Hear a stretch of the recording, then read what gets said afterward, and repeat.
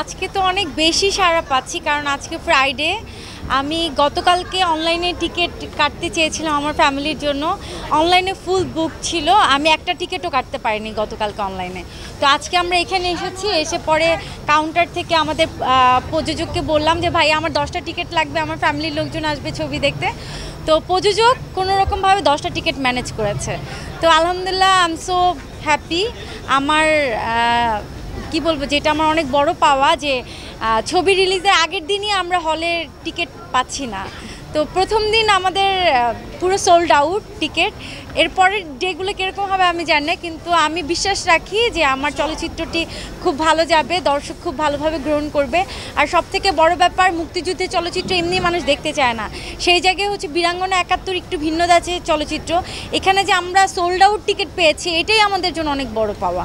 আমার কাজই হচ্ছে আমার অভিনয় দিয়ে আমার নিজেকে বেঁচে বাঁচিয়ে রাখা। তো আমি চাই আমি এমন এমন কিছু কাজ করব যেই কাজগুলো দিয়ে আমি আপনাদের মাঝে বেঁচে থাকতে পারব।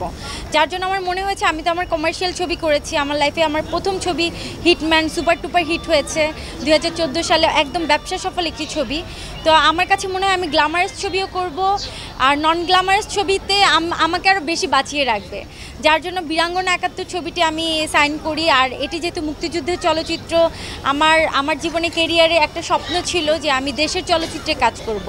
আর এখানে আমি নিজেই বীরাঙ্গনা চরিত্রটি করেছি, এটা আমার জন্য অনেক বড় একটি পাওয়া, একটা বড় একটি চ্যালেঞ্জ ছিল।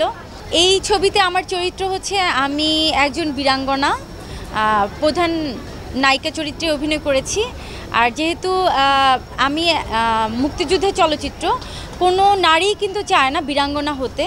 তো আমার স্বপ্ন ছিল আমি সংসার করব, আমার একটা সুন্দর জীবন হবে, আমার বাবা থাকে একজন গানের টিচার আমি একটা শিক্ষিত মেয়ে থাকি, গ্রামের সব থেকে শিক্ষিত মেয়েটাই কিন্তু আমি থাকি।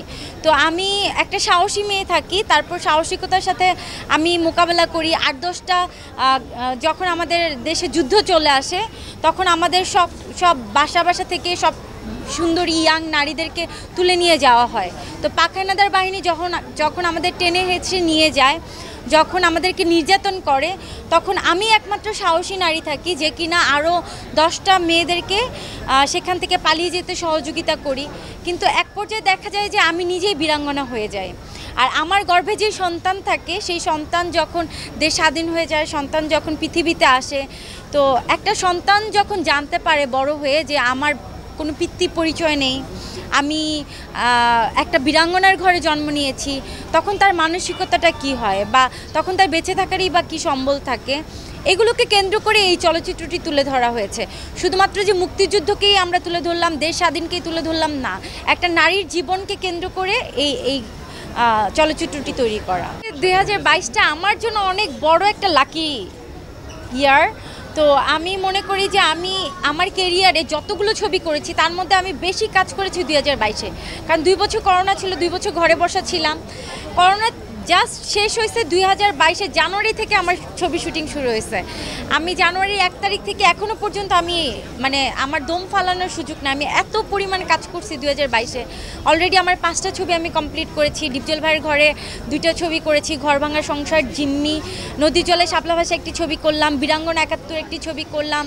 তারপর চব্বিশ দিনের রাত একটি ছবি করলাম। এতগুলো ছবি করেছি মানে কি বলব, তার পাশাপাশি আমি টিভিসি করেছি মিউজিক ভিডিও করেছি জুবিন গার্গ, আমাদের বোম্বের সিঙ্গার জুবিন গার্গ দাদার মিউজিক ভিডিও করেছি, এরপর সোল পোলাও চালে টিভিসি করেছি, আলহামদুলিল্লাহ অনেক কাজ করেছি দুই হাজার বাইশে। সবাই হলে আসবেন, এসে আমার এই ছবিটা দেখবেন, কেউ নিরাশ হবেন না, আশা করি সবার অনেক ভালো লাগবে। এটা শুধুমাত্র মুক্তিযুদ্ধের চলচ্চিত্র না, এটা আমাদের নারীদের জীবনকে নিয়ে, নারীদের সম্মানকে নিয়ে এই চলচ্চিত্রটি তুলে ধরা হয়েছে, আশা করি আপনাদের খুব ভালো লাগবে।